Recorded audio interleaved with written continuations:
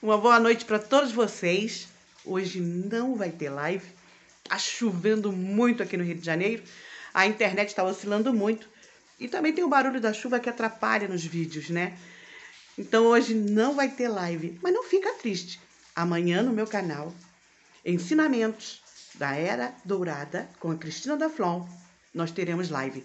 Então me aguarde no sábado às 22 horas. Conto com todos vocês. Beijinho nas asas.